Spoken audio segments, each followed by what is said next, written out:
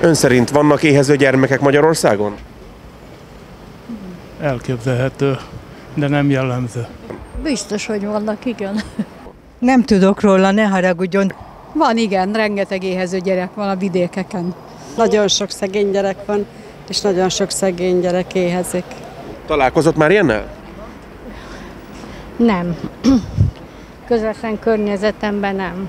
Én erzsébeti lakos vagyok, és Erzsébeten is bizony sajnos előfordul, hogy vannak olyan rétegű gyerekek, ahol bizony nem telik talán minden nap a főtételre. Aki azt mondja, hogy nincs, az hazudik. Ha mindenki tudja, azzal dicsekednek, hány gyereket etetnek. Hát akkor nem éhezik. Ön szerint hány ilyen gyermekről lehet szó? Szám szerint? Én legalábbis úgy hallottam a rádióból, hogy a gyermekek 25%-a alul táplált. El kell menni egy faluba, választani egy megyét, Borsodot, vagy Nyírséget, vagy Békést, és meg kell nézni, vagy Nográdot. Elmenni egy faluba, elmenni az általános iskolába hétfőn, és megnézni.